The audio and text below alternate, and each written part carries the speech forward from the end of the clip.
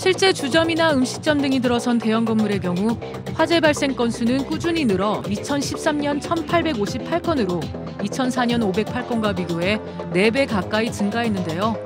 이에 2013년부터 화재 배상 책임보험 가입을 의무화했지만 보험료 부담 등으로 미가입 업체가 많고 보험 가액만큼 100% 가입하지 않는 경우도 다반사입니다. 그렇다면 아파트나 단독주택, 다세대 주택 등의 일반 거주지는 어떨까요? 아파트에서 난 물이 순식간에 번지면서 인명피해가 눈덩이처럼 커졌습니다. 지난 10일 발생한 의정부 화재 사고. 아파트 지하에서 발생한 불길이 인근 단독주택과 다세대 주택까지 폐허로 만들었는데요.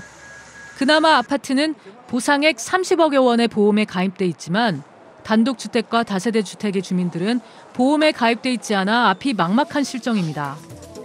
2010년 조사 결과에 의하면 아파트의 화재보험 가입률은 73.2%로 비교적 높은 반면 단독주택 가입률은 31.2%, 연립 및 다세대 등 공동주택의 가입률은 29.3%로 화재 위험에 대한 대비가 매우 취약한 것으로 나타났는데요. 때문에 화재보험 가입에 대한 인식 확대가 필요하다는 목소리가 커지고 있습니다. 화재보험이란 화재로 인해 발생할 수 있는 각종 위험에 대비할 수 있는 보험 상품을 말하는데 일반적으로 화재가 발생한 해당 건물의 물품 손해를 대비하는 것 외에 최근엔 화재로 인한 옆 건물의 피해 보상 및 누수 등의 생활 위험까지 대비할 수 있게 됐는데요. 상가의 경우엔 화재 발생 시 많은 인명 피해가 발생할 가능성이 높기 때문에 영업장 이용객의 인명 및 주변 상가의 재산상 손해에 대해 배상할 수 있도록 화재 배상 책임 보험을 들어야 합니다. 특히 세입자 입장에선 화재의 원인을 제공했다면 배상 책임이 같기 때문에 보험이 꼭 필요한데요. 세입자의 과실로 인한 화재 사고 등의 피해는 자신의 그 재산상의 피해뿐만 아니라 건물 내의 피해를 그 집주인에게 보상을 해줘야 하고요. 주택에선 건물 복구뿐만 아니라 가전제품을 비롯한 가재도구, 또한 이웃집의 인명피해에 대한 보상을 확인해야 하는데요.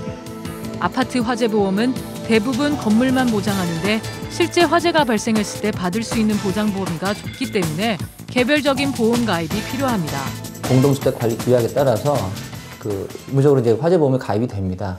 다만 이제 그 내용 자체는 건물 부분에 대한만 해당이 되는 부분이고요. 실제로 화재나 그런 사고가 발생을 했을 때 개인들의 재산상에 발생하는 뭐, 뭐 가전제품이라든지 그런 부분, 그 다음에 본인의 집에서 불이 남으로 인해서 다른 가정에 또 문제가 발생하는 부분에 있어서는 다 고스란히 이제 손해배상을 해야 되는 그런 문제가 있습니다. 뜻하지 않은 화재 사고는 인명 피해는 물론 경제적 부담으로 다가올 수밖에 없는데요.